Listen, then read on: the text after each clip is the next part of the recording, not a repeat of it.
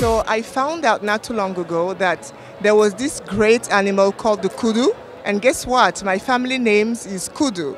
So I, I, thought, what beautiful way to show how proud I am, I am of my family, how proud I am of my dad, how proud I am of my culture. So the great Kudu in his environment was inspiration of that collection, the, the, the, the environment, the savannah, the colors, the warmth,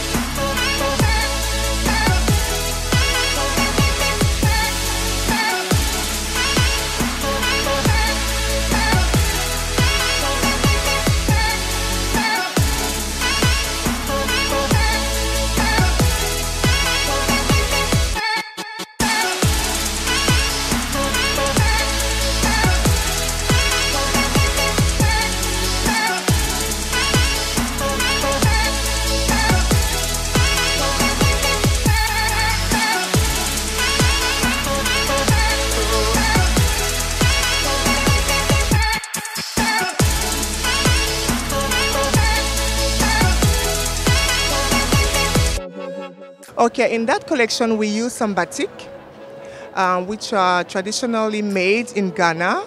We use some kente, which are traditionally woven in Ghana as well. I live in Ghana, so I, I, I found a lot of my fabrics there. But we also have some cotton, some raw silk, you know. But we really, really wanted to use African um, fabrics in order to showcase our culture and our traditions.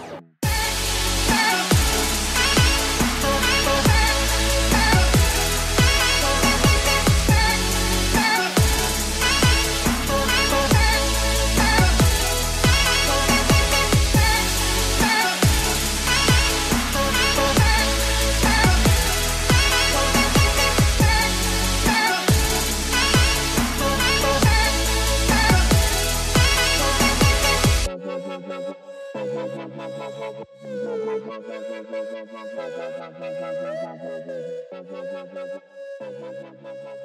you.